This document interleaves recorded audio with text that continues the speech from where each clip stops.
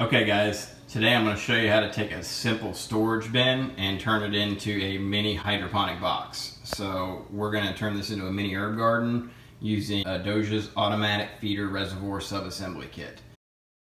Okay, so the first thing you're going to want to do is prepare your box and what we did is we took the lid and we drilled holes for our net inch pots. So you'll just want to drill holes whatever size net pot you're using.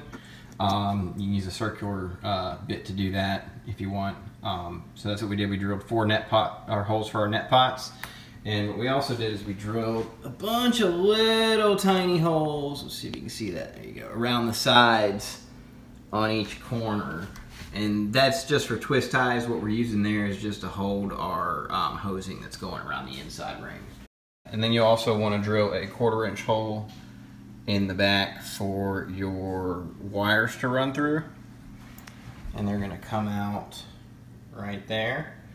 Um, and then maybe about a 3 eighths to half inch hole for your water level sensor switch. And you're going to want to position your sensor switch about halfway between where your pump level switch is and your water fill line. So that'll give you a decent indicator when water's getting low, give you enough time to refill it before it runs out. The electronics are pretty simple. We just uh, plugged in our bottom water level sensor switch, which this one sits on top of our pump to protect it. Here's our uh, warning water level sensor switch. We're gonna use this to get an alert when the water's low. Um, this one to the left is when water's at empty. So empty, low water, and then here's our pump. And that's pretty much the only connections we need. What we've done is we've taken a Adosia's automatic feeder reservoir subassembly kit and um, we've glued the pump to the bottom of a, a, a normal just kind of storage tub. And from our 3 8 inch outer diameter, quarter inch inner diameter tube, we've just shoved in a quarter inch outer diameter landscaping tube. Come to a T connector to split the water pressure out. And then we're just going into four nozzles that are spraying upwards.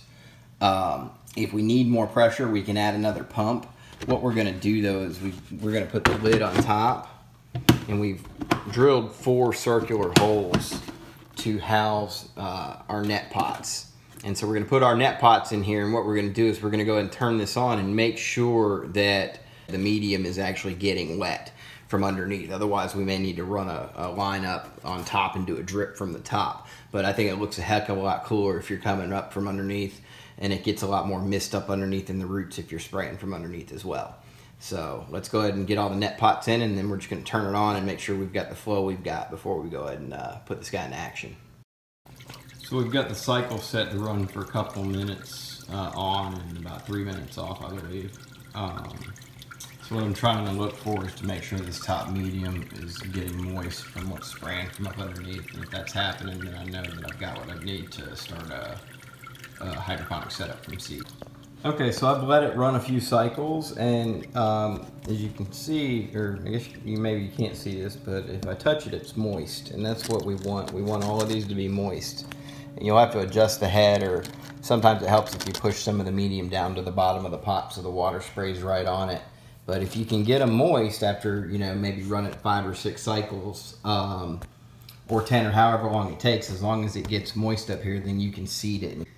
So we've got our seeds planted. Um, they should sprout here soon. We'll do an update video once they start coming up. Um, we're not going to add nutrients until they leaf, leaf a little bit and then we'll add nutrients.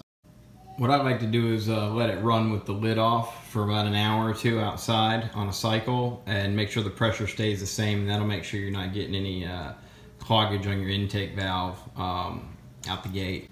Okay, so that's how it's all connected. I'll just show you how we set it up real quick, the profile for this, um, because it runs on a cycle, not like a trigger like some of the other devices we've set up. And I'll show you that right now.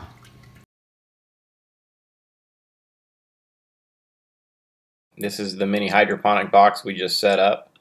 Um, we've had him running for a little while. As you can see, he's already been cycled for over two hours and five minutes. And the cycle we have set up for this one is 120 second run time with 240 second idle time. So that's two minutes on, four minutes off. And we can adjust that or you can adjust it as you see fit. But um, going into a profile, what you would want to do is click a new profile. We named it Mini Hydroponic Box.